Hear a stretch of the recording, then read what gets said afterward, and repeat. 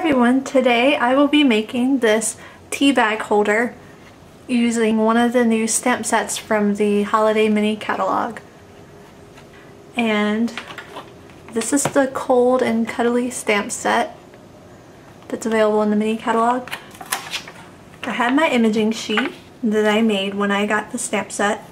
And I'm going to go ahead and set that up on paper. Ink up my stamp.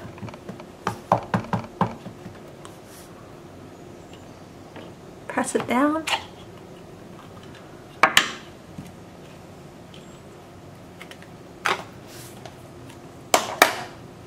Okay, and now I'm going to stamp this penguin and I'm going to be using the markers to do this so that I can get a multicolored image. Okay, so I'm going to take my markers and I will be using the Summer Sun marker, Basic Black, and Real Red.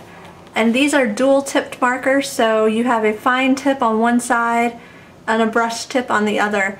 And these are really great for if you want to perfectly match your project with writing on the inside and then you can use the brush tip to color your stamps. So first I'm going to take my Summer Sun marker and color in the beak.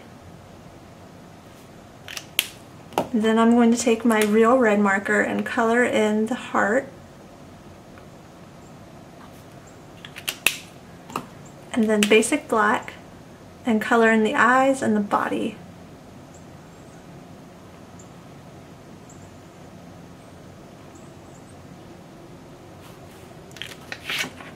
Set this down. So that's all ready to go.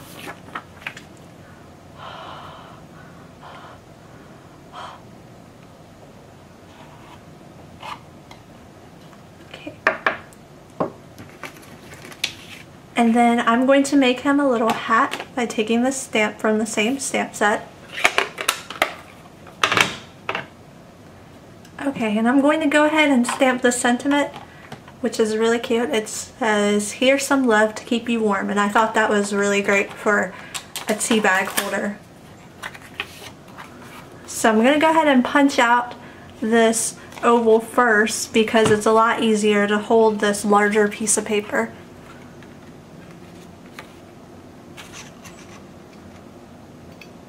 I'm going to line it up, punch it out, I'm going to set that aside for later. Okay, now what I'm going to do is I'm going to be cutting out each one of these stamped images. So, to make it easier on myself, I'm going to go ahead and cut around each one.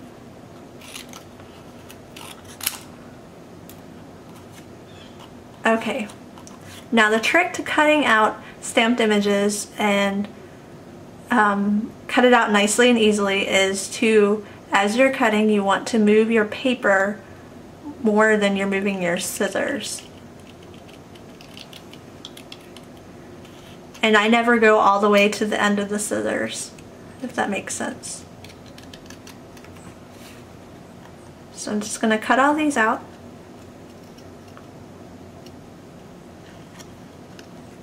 So I have all of my images cut out.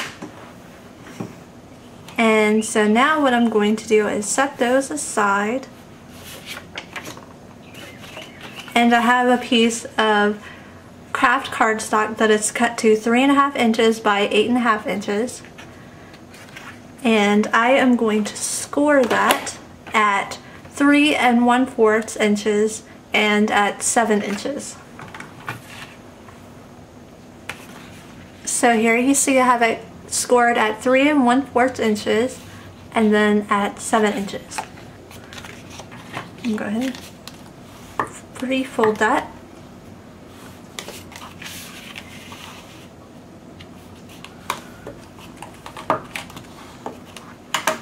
Okay. Now what I'm going to do, this will be the pocket that holds the tea bag and what I'm going to do is take my adhesive and put it on the very edge of the pocket. And then adhere that down.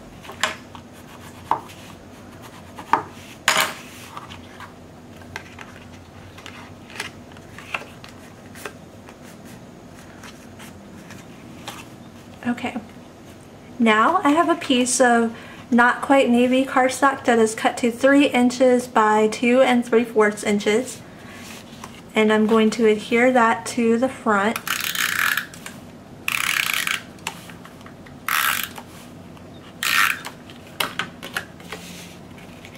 I'm going to use my grid paper to line that up so I can get it perfectly in the middle.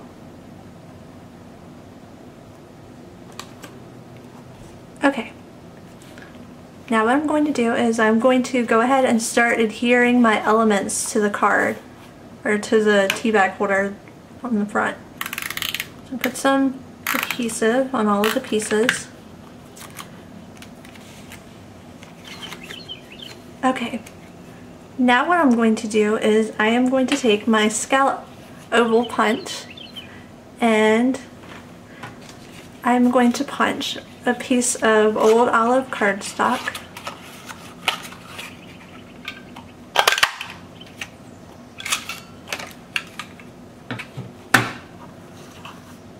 and adhere my sentiment down on that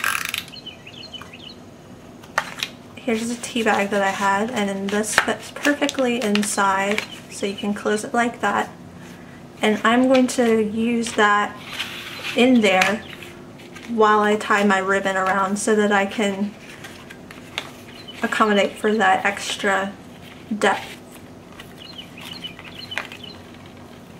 Just going to tie some ribbon this is Old Olive 1 4th inch grosgrain ribbon.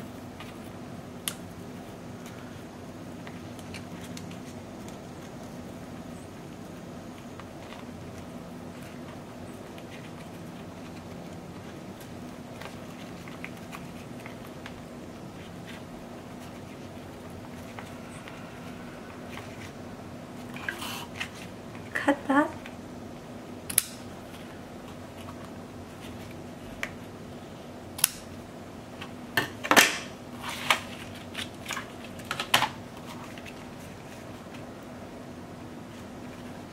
And I'm going to have that on this side,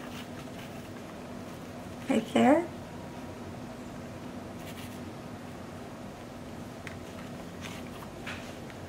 Okay, I'm going to slip that off for now. Take this out. Now, you could have your everything on here just like that, or you can do what I did with mine and kind of take it to the next level. So, and I got this snowflake from the Snow Swirls stamp set so I'm actually going to take some of our new shimmer paint from the Holiday Mini Catalog, and this is the Frost White color. And then open it up, and there will be a pool of ink on the inside of the lid. And you can just take one of our sponge daubers, pick up some ink, and dab it on the stamp. Okay. You can use your Stamp-A-Majig for this, but I kind of just like to eyeball it.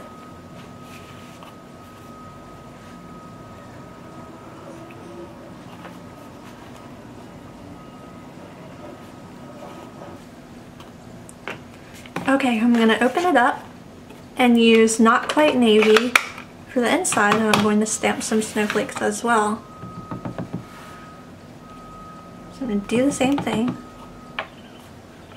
That just adds a little extra to your project. Okay, so I'm going to put this tea bag back in there so you can see how it all comes together.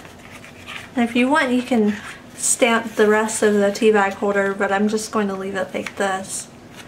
And then I'm going to slip the ribbon back on. Okay, then the last thing for our holder